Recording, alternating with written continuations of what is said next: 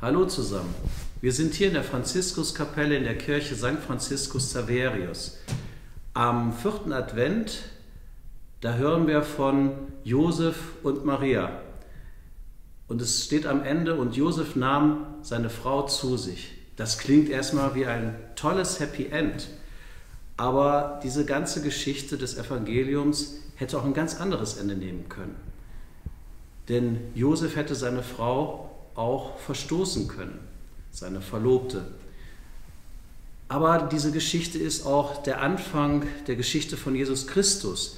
Diese Geschichte ist auch Gottes Geschichte mit uns Menschen. Sie heißt, Gott ist mit uns. Und dieser Josef, von dem wir am Sonntag hören werden, der spielt keine kleine Rolle. Ohne ihn hätte es kein gutes Ende gegeben. Fassen wir nochmal zusammen. Josef, als er merkte, dass seine Verlobte Maria ein Kind erwartet, wollte sich in aller Stille von ihr, so wie es üblich war, trennen. Aber im Dunkeln der Nacht, in der Stille der Nacht, da geht Josef im Traum ein Licht auf. Da spricht Gott zu ihm und Gott sagt zu Josef: Fürchte dich nicht. Josef erfährt etwas ganz Wichtiges. Gott, dieser Gott, der ist bei mir. Er lässt mich nicht allein in meiner Not, in meinen Ängsten, in meinen Sorgen. Und ganz wichtig, Josef vertraut auf Gott und nimmt tatsächlich Maria, die schwanger ist, als seine Frau zu sich.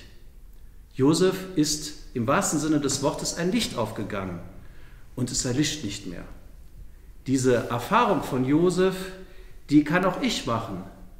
Auch ich darf vertrauen, dass Gott mit mir geht, und dann leuchtet auch bei mir dieses Licht und das wird nicht mehr ausgehen.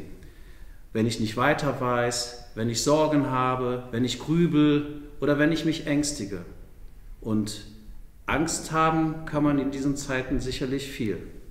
Denn Gott sagt zu mir, fürchte dich nicht, hab nur Mut. Und er sagt es zu uns allen, ich bin bei euch alle Tage. Wir sind jetzt hier in der Pfarrkirche St. Franziskus Saverius und am 24.12. da werden wir eine Familienkrippenfeier streamen.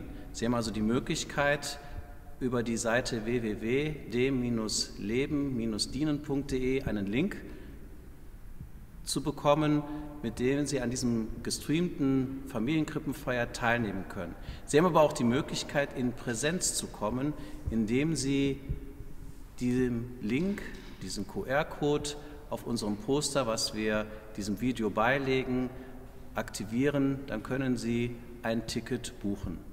Wir würden uns freuen, Sie würden uns besuchen, sowohl in Präsenz wie auch im Stream.